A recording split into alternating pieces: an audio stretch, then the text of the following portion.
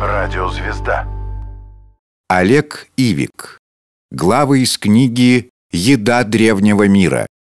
Читает Андрей Филиппак.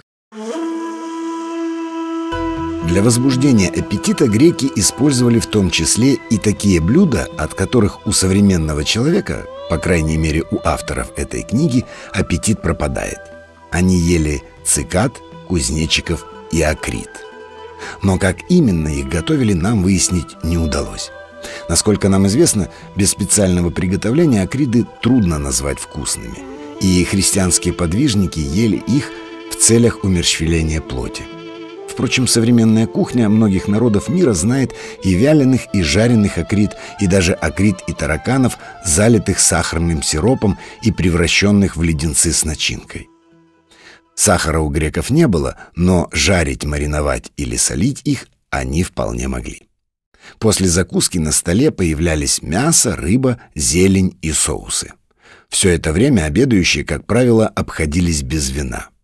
Закончив первую часть трапезы, они выпивали по глотку неразбавленного вина в честь доброго гения, так называли бога Диониса. После этого рабы уносили опустевшие столы и вносили новые с накрытым десертом. Это могли быть, например, свежие и сухие фрукты, сыр, печенье и пирожное на меду с сыром, маком и кунжутом. Теперь можно было пить вино. Начиная с третьего века до нашей эры, во вторую перемену, помимо десерта, стали добавлять дичь и домашнюю птицу. Если пирующие собирались более или менее напиться, то это обычно происходило после перемены блюд, за десертом. Но вино, исключая первое возлияние в честь Диониса, они пили разбавленным. Кроме того, на столе могли стоять ячменный отвар, молоко или молозиво, но это были не слишком традиционные напитки. Греческое меню нельзя назвать скудным. Оно всегда было сытным и разнообразным, но поначалу особой изысканностью не отличалось. О нем можно судить по комедиям Аристофана, который любил кормить своих героев примерно так, как питались его сограждане афиняне. И даже если дело происходит во дворце кого-то из богов, подают там не нектар и амброзию, а обычную еду. В комедии «Лягушки» Дионис и его раб Ксанфий навещают дворец богини загробного мира Персефоны. Служанка принимает Ксанфия за Геракла, которого ждали в гости, и приглашает к столу. Она сообщает. Богиня чуть услышала, что прибыл ты, лепешки замесила, два или три горшка сварила каши, пол быка зажарила, коврижек, колобочков напекла. Входи.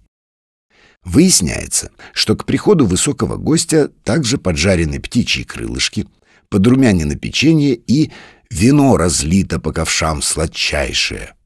А тем временем торговки, которых обокрали на рынке, обвиняют Диониса, тоже принимая его за Геракла, в том, что он сожрал у них дюжину калачей, стащил 25 кусков говядины, грудинку, рубцы, сельди, сыры зеленые и чесноку без счета.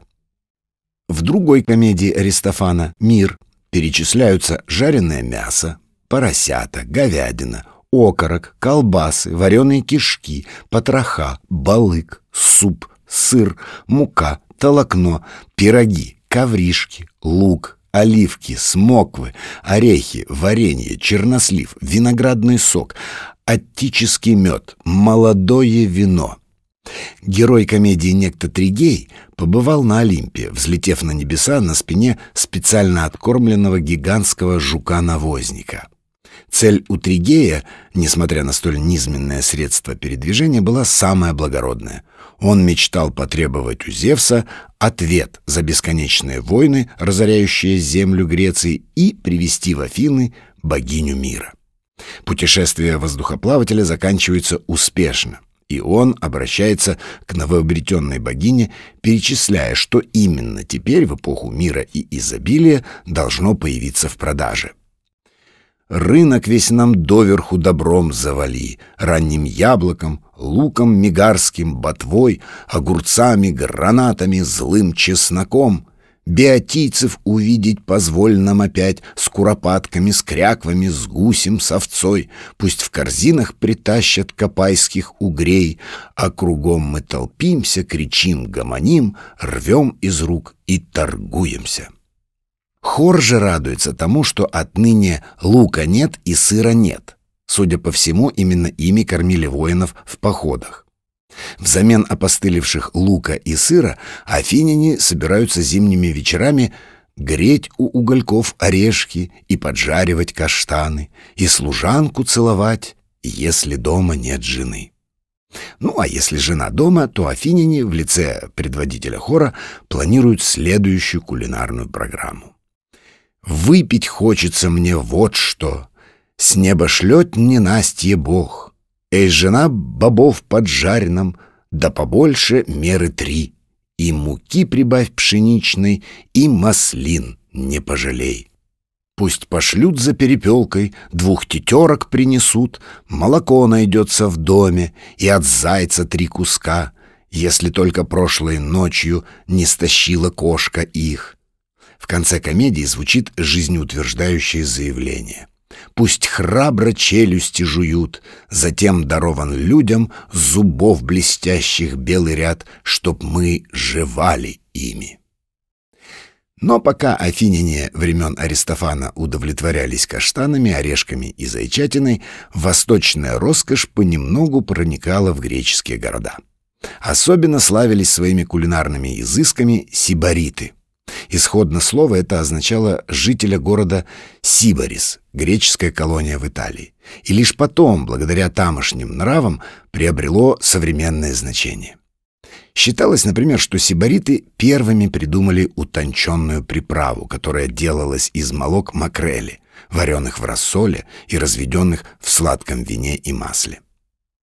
Постепенно и другие греки начинают входить во вкус изысканной кухни. В конце V века до нашей эры некто Митаик из Сиракуз написал первую кулинарную книгу. Судя по всему, она принесла ему популярность, потому что после этого на Грецию обрушился вал кулинарной литературы. Известны имена, по крайней мере, 17 авторов таких книг. Так, Хрисиптианский написал трактат о выпечке, в котором рассказал о множестве сортов хлеба. Отрывки из этого трактата пересказывает Афиней. У эллинов есть и хлеб под названием «мягкий». Для него нужно только немного молока и оливкового масла и много соли. Форма для выпечки должна быть очень слабой. Зовут этот хлеб каппадокийским, потому что в Каппадокии почти все сорта хлеба мягкие. Сирийцы же называют такой хлеб лахман, они его очень любят, потому что его можно есть очень горячим. Существует и хлеб балетин, выпекаемый в форме гриба. Квашню смазывают маслом и посыпают маковыми зернами, и только потом выкладывается тесто, чтобы оно не прилипало к дну. Потом его ставят в печь в глиняной посуде, предварительно посыпанной мукой грубого помола. В результате хлеб приобретает прекрасный цвет копченого сыра. Для кренделя нужно немного молока, перца, а также оливкового масла. Если его нет, то добавляется сало. В так называемый ортологанон, пшеничные вафли, добавляют немного вина, а также перца, молока и оливкового масла или сала. Мы читали главы из книги Олега Ивика «Еда древнего мира» радиозвезда.